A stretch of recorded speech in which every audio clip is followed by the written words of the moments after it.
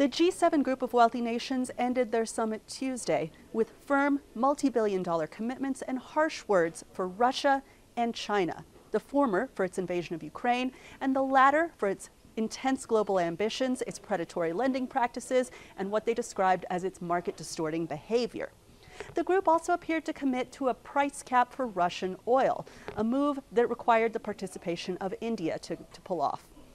Also, the group expressed concerns about the Taliban takeover of Afghanistan, their hopes for a denuclearized Iran, and their concerns about global food insecurity in the wake of the Ukraine invasion, especially in the African continent.